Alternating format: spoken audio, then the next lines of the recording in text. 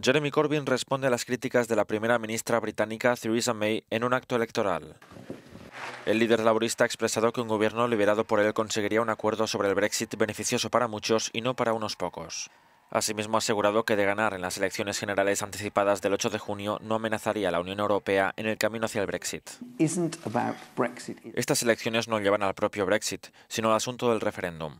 La pregunta ahora es qué tipo de Brexit queremos y qué tipo de país queremos ser en el futuro. Y en quién se puede confiar para que los intereses de los trabajadores ocupen un lugar preferente.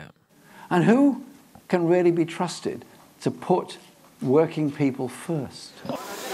Por su parte, May ha asegurado no dar nada por hecho ante las próximas cinco semanas previas a los comicios y ha pedido el apoyo de los británicos para reforzar su posición en las negociaciones para el Brexit con el bloque comunitario.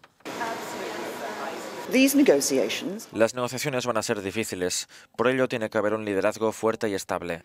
La gente tiene que recordar que habrá otros 27 países europeos a un lado de la mesa negociadora y solo una persona para defender al Reino Unido. La pregunta en las elecciones generales es quién otorgará ese liderazgo fuerte y estable, yo o Jeremy Corbyn.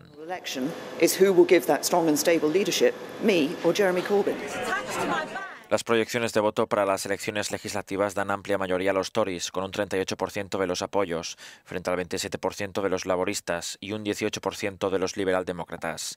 Se estima que 45 millones de personas acudan a las urnas.